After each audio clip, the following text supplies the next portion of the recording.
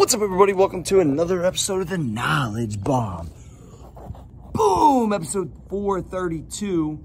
All right, today we're going to go over, I'm starting to add some push ups to my GPP after lunges to try to get my bench press to an entirely different level. And I want to go over the style of push up that I'm executing. Now, this is partly because it mimics my bench, partly because it's the way to keep my shoulders safe and to engage my lats and my upper back. So, if you guys have seen, I don't bench like this. A lot of big benchers understand this anyway.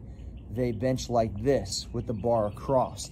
It activates your lats more, it activates your upper back. It's almost like a diamond push-up, right? Now, what I'm doing is going a little bit wider.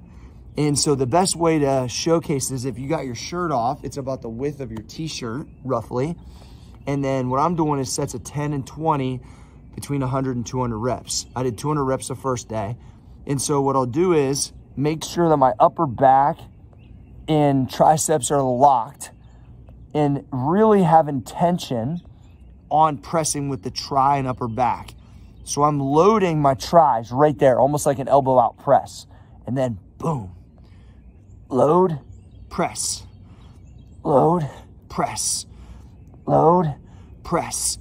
And so it's really mimicking the bench press so I can support crazy weight, get a next level total. And my, my idea is if I can adapt to not only the rotator cuff move at about 150 reps a day for five pounds, and then this around 200 reps a day. Matt Wenning put out something really interesting the other day, talked about a thousand reps of GPP is about what it takes to be elite.